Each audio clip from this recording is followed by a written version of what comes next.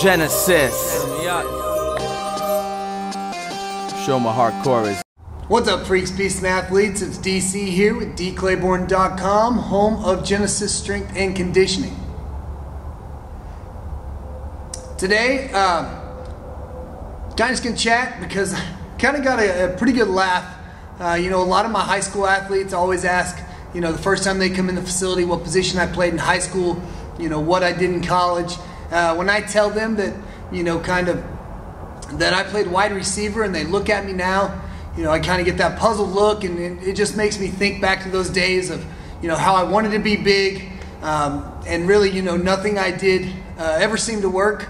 And so wanted to kind of share with you guys um, what, you know, what I did, uh, kind of how it was and all the crazy stuff I used to do back in my skinny days uh, with the dream and, you know, and aspirations of, of one day getting bigger. You know, if you're not aware of kind of how I used to look, uh, if you've been to the blog, you'll see the, uh, you know, my before picture on there. Uh, if you haven't been to the blog, then I'll flash it up here. So you can see I was, uh, I think in that pic, I was like 155. That was my sophomore year of college. I was not a big guy.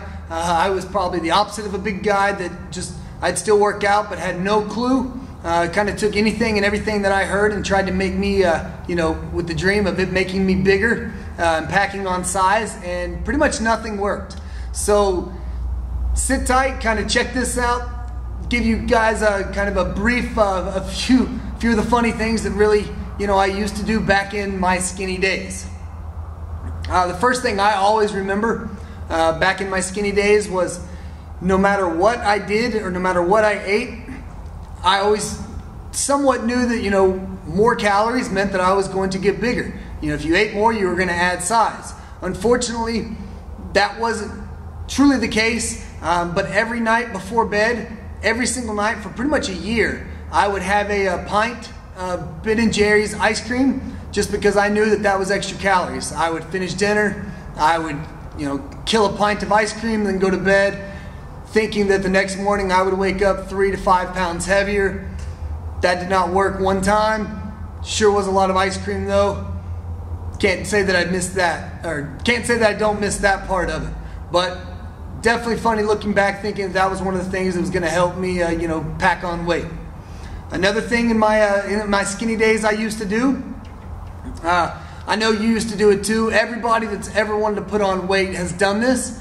But I used to uh, buy those bags, those huge like trash bag sizes of, of, that cheap weight gainer that tasted horrible. It came in like, you know, let's say you needed one scoop to give you like 4,000 calories. Uh, you pull the scoop out of the bag and it looks like it's just a miniature shovel.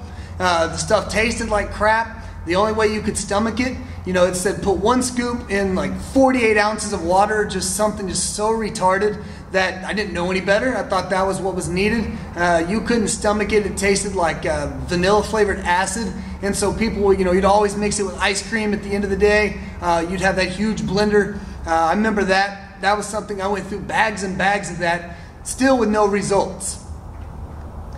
Uh, another thing I used to do in my skinny days was, uh, you know, pretty much if it came out, in any magazine or was promoted. Uh, this was kind of before online was huge. Uh, but you could hit me up on uh, AOL, you know, hitting up with the chat rooms, uh, but that type of stuff. So really, magazines was and kind of word of mouth at the gym was all I had to go off of. And so I would try any and pretty much all supplements that came out or were on the shelves, you know, hoping to promote, you know, weight gain, uh, muscle building, or all that stuff, you know, strength improvements. I tried some, tried some of the craziest stuff out there with no results. Uh, probably spent thousands of dollars, uh, if not tens of thousands of dollars on supplements for many years uh, with zero results. I tried crap like, uh, what was it? Um, Russian bear. You know, I pretty much was a, a, a MuscleTech junkie. Any, you know, hydro whaleabolic meta super plasma gurgitator um, that was in my cabinet. Um, I was trying it all I used to take so many BCAA pills, creatine pills, uh, muscle boosting pills that at the beginning of each week I would take Dixie cups and have a line down my dresser that was like AM and PM, and each Dixie cup would have something like eight to ten pills. I'd wake up, take those pills, go eat breakfast, you know, do the rest of my day, when it's time to go to bed, take the other Dixie cup, uh, you know, cram those pills down. And, uh, you know, that's what I thought was needed. That's what it looked like to me. All the bigger guys were doing or taking. Didn't work. Still makes me cringe. I refuse to even just look at Dixie cups now because it makes me think of just the hours I spent counting out pills and popping them in there to start each week. Uh, another thing that I used to do back in my skinny days was I would spend all as much as much time as possible lifting on machines. Lifting on machines, you know, if you've ever done it, you feel that burn, you feel like that that single muscle's really working and really getting hammered. And hey, it's a lot cooler to be able to say you lift 100 pounds or can use the whole stack on a uh, on a machine compared to you know the bench press machine or you know whatever. Uh, the curl machine is the one that I remember the most. I'd sit there and be able to move that whole stack. But if you asked me to go do any type of dumbbell curl, I was probably struggling and quivering under 25 pounds.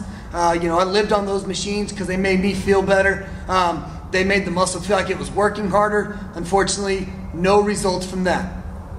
And then finally, uh, you know, I, I, I lived off fast food kind of going back to the calorie thing is I knew I needed more calories. I didn't know what quality calories were. Uh, I was too lazy to cook. I didn't know how to cook. I didn't have a uh, awesome wife like I do now to prepare food. So back then, you know, to me, calories were calories, and so I used to go uh, after I'd work out. I would either hit up. Uh, if you're in Texas, there's a place called Whataburger. They used to run specials on Wednesdays. I would hit that up, or I would go to McDonald's and I would basically get my post workout meal for about two years uh, from McDonald's would consist of two uh, McDoubles, or back then they were double cheeseburgers, two of those, a uh, medium milkshake, and a medium fry. It was four bucks. It gave me somewhere like 2,000 calories. Didn't put a single, uh, probably didn't put a single ounce of muscle on me. It did give me a really awesome looking kind of spare tire and flabbiness to go along with my skinniness. So then I wasn't just skinny, I was that weak, um, soft, fat, skinny kid that you see uh, who you think, you know, uh, maybe strong. And so I was working my butt off, you know, still hammering that because calories were calories, got no results. Uh, it wasn't until I stopped really ditching fast food, stopped paying attention to all that other crap, and really started focusing and learning the basics of what builds a, a superior physique that I got better. But you know, don't feel ashamed of the crap that you've done that doesn't work. Uh, kind of look back at it as a learning experience. You know, there's a few of the things I probably have a, a, a ton more if I sat here and talked that would pop into my mind. Uh, but you know, those are just some of the few things that I did back in my skinny days. You know, if you have some crazy things that you used to do, drop me a line. You know, comment below. I do have some free gifts for you guys if you want to check those links out below. Uh, if you like this, kind of like me talking about how I was a fool, uh, or want to learn some more tips on how to get bigger, how to become a better athlete, how to get stacked and jacked, hit that subscribe button above. Now you guys know, probably know more about me than you cared to, and knowing's half the battle. Genesis. Show my hardcore is, you know what I'm saying? Uh huh. Yo.